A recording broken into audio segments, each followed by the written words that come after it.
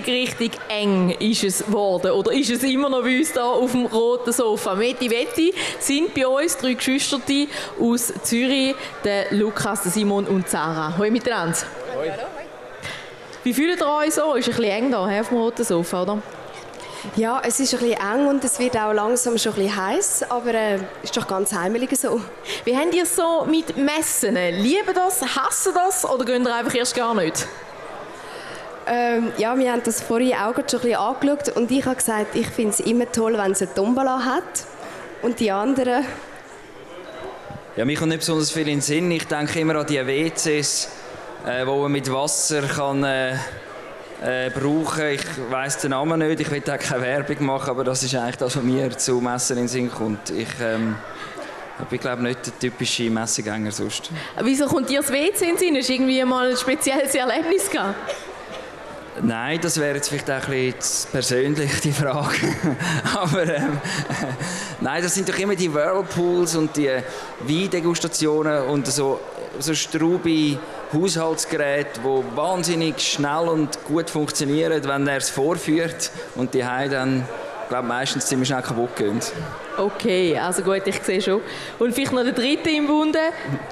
Ja, also ich kann auch nicht wahnsinnig viel zum Essen sagen. Also ich bin nicht so ein äh, regelmäßiger Besucher, aber äh, ich, wenn ich gehe, dann ein bisschen zum Wein degustieren und ein bisschen Wettbewerb mitmachen. Ja, und ich glaube, äh, Sarah ist auch eine, die sehr gerne Wettbewerb mitmacht. Und Kugelschreiber, hat Simon erzählt. Ja, wir haben schon einen Kugelschreiber und ich habe doch auch schon einen Teddybär bekommen. Also alles an der Messe. Und übrigens, wenn du hinterher schaust, für dich hat es hinten auch noch Tombola. Also du kannst dich noch so richtig ich kann spielen, ja. Da bei uns auf der Tombola. Metti Vetti. Ein Name, der extrem gut im Ohr bleibt und eigentlich einfach ganz mal so spontan entstanden ist, glaube ich, oder?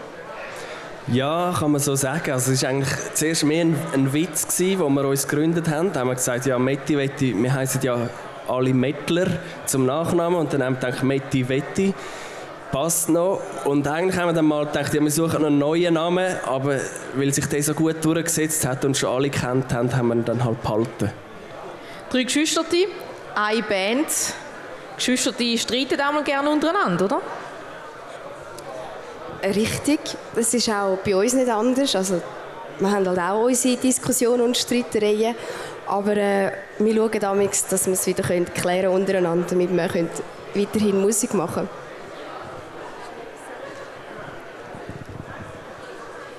Ja, weiß nicht, das äh, wäre auch wieder wird auch wieder persönlich, aber das ist ja okay so, wir sind ja unter uns. Äh, es ist natürlich so, dass wir äh, als Geschwister eine gewisse Verbindung haben und dann uns vielleicht manchmal schneller finden. Und auf der anderen Seite natürlich in einem Streit oder in einer Auseinandersetzung, die es ja braucht, wenn man Musik macht, die irgendwie auch wichtig ist, dann halt gleich auch ab und zu ein paar alte Geschichten vorkommen mit dem grossen Bruder, der immer alles besser weiß und dem kleinen Bruder, der irgendwie, oder der mittleren Schwester, die auch so ihre, äh, ihre Eigenheiten haben. Und äh, das, äh, der Konflikt ist dann wie nicht nur auf der sachlichen Ebene, aber so. Aber äh, ja, bis jetzt haben wir es gut gehandelt. Wir sind schon zehn Jahre unterwegs und äh, und äh, es sieht so aus, als würden wir noch ein bisschen weitermachen. Ja. Gibt es eine klare Arbeitsteilung bei euch in der Band? Ähm, ja. das gibt es, glaube ich. Also, nicht etwas, wo wir irgendwie so festgelegt haben, aber sicher etwas, was sich so ergeben hat. Das ist einfach das. Äh, also, das Musik machen wir natürlich zusammen, die Songs entwickeln tun wir zusammen. Ähm, die Songs schreiben und ich. Aber dann in den Ideen, wer welches Instrument spielt oder was für Ideen noch hat, da kann eigentlich sich dann jeder einbringen. Und da schauen wir dann einfach, was sich durchsetzt, was am besten tönt. Ich würde sagen, jetzt machen wir einmal parat, dass wir mal endlich etwas hören von euch. Und zwar von nichts kommt immerhin nichts, so heisst euer aktuelles Album. Und was hören wir daraus raus? Ja, ehrlich gesagt hören wir gar nicht aus dem Album, wenn das äh, nicht fest aus dem Rahmen geht. Ui, ja, ich glaube doch, das klappt so krass. Aber es ist noch besser, es ist ein ganz neuer Song. Wir haben gedacht, das wäre für diesen Anlass da angemessen. Äh, das ist der allerneueste Song, der ist noch nicht einmal, noch nicht einmal auf dieser sehr neuen CD. Also sozusagen Weltpremiere? Es ist eine Weltpremiere, das kann man natürlich sagen, ja. dann freuen wir uns riesig. Metti Wetti mit einer Weltpremiere hier an der Schaffhauser Herbstmesse. Der Song heißt Opportun und passt irgendwie zur Politik. Rein.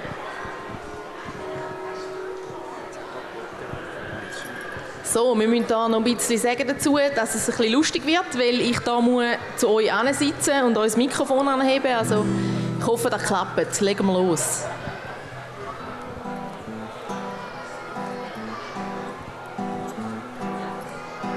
Nicht so gern unterwegs, lieber dort.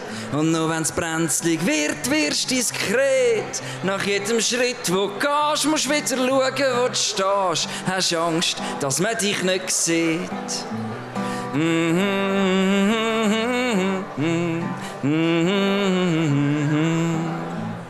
Wieso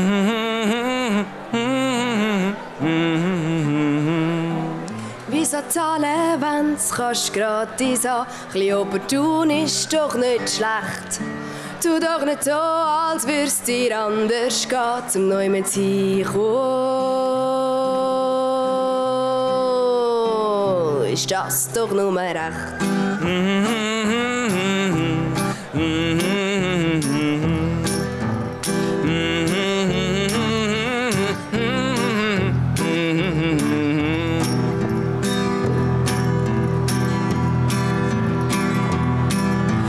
Tunnel und manchmal eine Wand.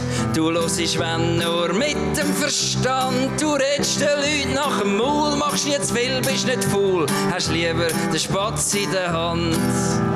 Na, na, na, na, na, na, na, na, na, na, na.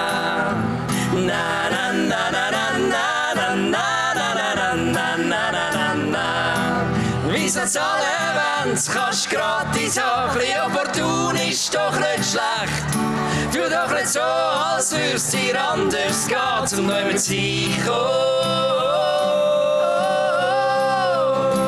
Ist das doch nur recht? Na, na, na, na, na, na, na.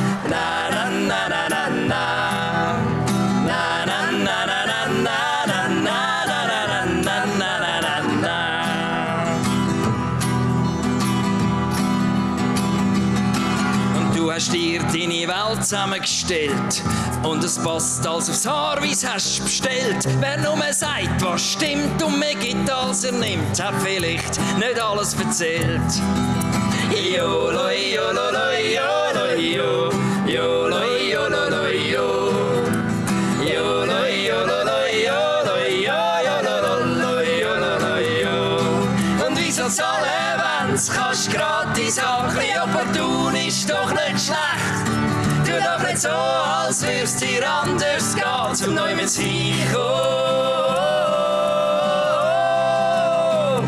ist das doch noch mehr recht. Jo, jo,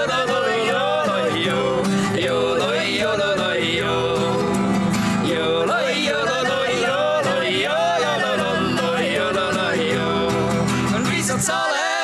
Kannst gratis haben, ein opportun ist doch nicht schlecht. Tu doch nicht so, als wüsst dir anders geht's und neu mit sich. Oh, oh, oh. Das doch nur recht? Na na na na na na na na na na na na Na na na na na na na na na na na na na na na Wer nur sagt, was stimmt und mir gibt, als er nimmt, hat vielleicht nicht alles erzählt. Metti Wetti, da bei uns auf dem roten Sofa. Und der Song passt eigentlich schon ein bisschen zu der Schaffhauser Herbstmesse. Weil gratis kann man das eine oder andere definitiv haben, wenn man da durch die Herbstmesse durchläuft. Ihr singt über Sachen, wo viele andere zwar darüber nachstudieren, aber es nie würden aussprechen, so direkt. Wie kommt man auf die Idee, Text zu machen über so Sachen? Eine gute Frage. Das heißt meistens, dass es keine gute Antwort gibt. Ähm, ich weiß nicht. Also ich, ähm, es kommt, es gibt Sachen, die mich beschäftigen und ähm, ich hocke her und ich mache Musik und das kommt. Das ist das, was irgendwie, was ich will sagen, wo ich denke, ist wichtig, zum, oder wo ich selber darüber nachdenke, ich weiß nicht, was herkommt. Manchmal schaue ich nach, wenn ich einen Song gemacht habe, wo alle die Einflüsse herkommen sind, das sind so Fetzen. Und dann kommt es irgendwie zusammen. Das ist äh, schwierig zu sagen. Sind eure Songs von Anfang an so detailgetreu gewesen, wenn man das so sagen darf? Also ich, was meinst du mit detailgetreu? Eben über Sachen schreiben, wo ja, andere darüber nachdenken, aber einfach nicht, man nicht, irgendwie nicht darüber redet. Also ich, nicht überle ich überlege nicht, was ich, also, was ich für einen Song machen will. Ich mache ich mach einfach den Song, der wo, wo halt geht, der kommt. Und, äh, ähm, ich glaube, es war von Anfang an so. Gewesen. Der Stil, die Art und Weise von einfach über das reden oder über das singen, wo man auch redet oder über das, wo man sich halt auseinandersetzt. Es geht nicht darum, irgendwelche grosse Geschichten zu erzählen oder so, sondern über das, was man so aufschnappt, wo, wo sich dann so zusammenbraut, irgendwie zu etwas. Und vor allem auch immer so in der Art und Weise, ähm, wie man halt auch redet. Das ist in der Mundart, glaube ich, noch etwas Wichtiges und auch etwas Schwieriges, so Musik zu machen, die nicht zu plump tönt, aber gleich so, wie man halt, äh, ja, wie man halt Dinge schnurrt, dass man es irgendwie so probiert zu sagen, wie es ist. Ist die ein oder andere Familienstory vielleicht auch irgendwo drin enthalten? Da wird es schon wieder sehr persönlich.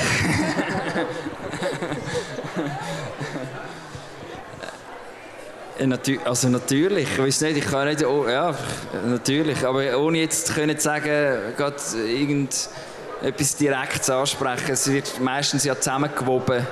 Es sind natürlich Gefühle und, und Situationen und so, was ich dann so wenn es da und da und da vorkommt, dann, dann wird es so dicht und dann wird es prägnant und dann, dann macht es irgendwie, kommt es zu einem Sinn und dann bringt man es irgendwie zu Papier. Aber es ist nicht so, dass es irgendwie äh, äh, jetzt einfach ein, äh, eine Geschichte gibt über, äh, über irgendein ein, ein konkretes Erlebnis, das wir jetzt in der Familie erlebt haben. Ist in dem Fall am meisten von dir drinnen, in diesen Metti-Vetti-Songs, so wie ich da rausgehöre, oder? Ist es dann doch irgendwie ein Mischmasch aus euch allen drei, euch Geschwistern? Ja, also was den Text anbelangt, kann ich natürlich nicht dafür, dass es von mir ist, weil ich schreibe halt Text. Dann kann ich nur von mir reden. Ähm, aber die Musik ist sicher von allen dann prägt oder vor allem die Interpretation dann auch, wie man es umsetzt. Äh, und ähm, da, da, kann man sicher sagen, da schaffen wir dann zusammen mit und auch welche Songs dass wir dann tatsächlich bringen. Aber Text schreibe eigentlich jetzt vor allem ich und dann ist das natürlich meine Geschichte. Also, ja. Ich will noch ganz kurz aufs Cover vom Album sprechen. Dort hat es so einen Fisch drauf und dann so eine wunderschöne Feder. Dort unten würde es liegen, wenn es mal geben Dann können wir es nämlich gerade noch zeigen vor dem Helm. Genau dort. Dass wir wissen, von was wir reden. Was hat es mit dem Albumcover auf sich, mit dem Fisch? Wo so die Federn wegbläst? Also äh, wir haben mal überlegt, was nehmen wir denn für einen Titel für das Album? Und äh, wir haben gemerkt, wir haben relativ viele Songs, wo im Titel das Thema «Nicht» oder «Nicht» oder irgendwie so auffassen und sind dann zu dem wahnsinnig äh, viel aussagenden Titel von «Nicht» kommt immerhin «Nicht» gekommen, weil ja auf einer sehr äh, philosophischen Ebene schon fast spielt und umso schwerer ist es dann auf dem Albumcover, äh, das versuchen darzustellen. Also von nichts kommt immerhin nichts. Und wir haben dann wie gedacht, ja, der Fisch, wo so eine Feder wegbläst, wo ja Federn, wo fast nichts wiegt und die Luft, die er bläst, wo aber ja eigentlich gar nicht geht, was ja gar nichts ist. Und irgendwie, also wie man das genau will interpretieren, da gibt es sehr viele verschiedene Varianten, wo man relativ lange darüber diskutieren kann. Aber für uns hat es sehr gestummen so. Philosophieren tun wir jetzt auch weiter mit dem nächsten Song. Ich sage an dieser Stelle aber schon mal ganz herzlichen Dank. Metti Wetti sind da bei uns auf dem roten Sofa gewesen. Und ich freue mich sehr, dass ihr nochmal eins live spielt. Was hören wir? Äh, das nächste Lied ist eines vom neuen Album und das heißt äh, nicht besser. nicht besser, ja. Nicht besser. Metti Wetti bei uns an der Herbstmesse auf dem roten Sofa. Aber ich muss ja singen. Lebst du es mir? Ah, nein, nein. Oder uns. Ich muss es Also du singst? Genau, wir singen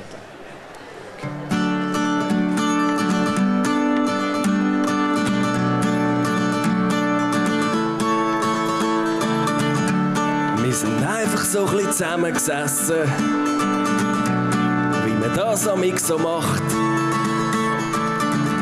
Und dabei ein bisschen selbst vergessen, das eine und das andere gelacht. Wie wir doch jetzt auch schon langsam alt sind, oder zumindest nicht ganz so jung. Aber eigentlich immer noch ein bisschen Kind und meistens auf dem Sprung. Und schleicht sich an das Gefühl.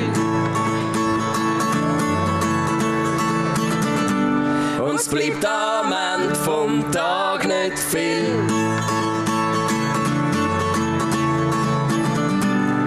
Wo ein Mensch darf glauben lässt,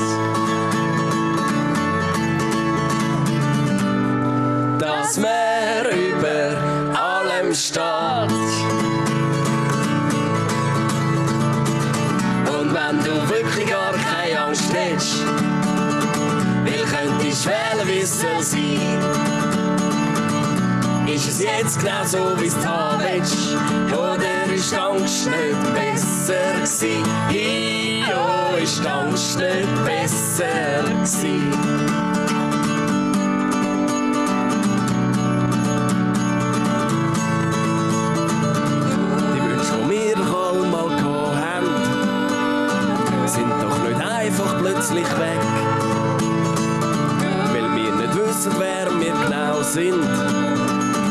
Und was wir wollen mit diesen Tagen. Fragst dich zweimal, was sollst du sagen? Wenn dich jemand fragt, was denkst und wirst manchmal zu verlegen. Wenn du schaust, was bald ist und verschenkst. Und schleicht sich an das Gefühl. Und es bleibt am Ende vom Tag nicht viel. Wo ein Mensch darf glauben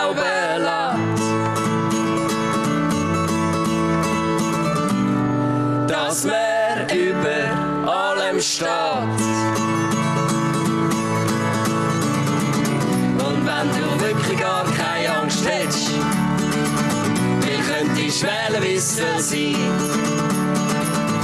Ist es jetzt genau so, wie es haben willst? Oder ist die Angst nicht besser gewesen? Oh, ist die Angst nicht besser gewesen?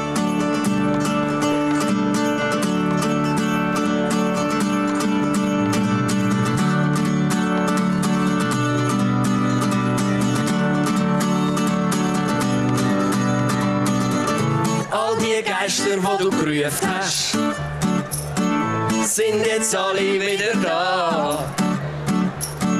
Sie werden auch, wenn du so da bist, dich vielleicht nie verlassen. Und wenn du wirklich gar keine Angst hast, will könntest wählen, wie es soll sein. Ist es jetzt genau so, wie es haben willst? Oder ist die Angst nicht besser gewesen? Oh, ist die Angst nicht besser gewesen? Und wenn du wirklich gar keine Angst hättest, will könntest wählen, wie es soll sein? Ist es jetzt genau so, wie es haben willst? Oder ist die Angst nicht besser gewesen? Oh, ist die Angst nicht besser gewesen? Oh, ist die Angst nicht besser gewesen? Oh, ist die Angst nicht besser gewesen? Merci vielmals.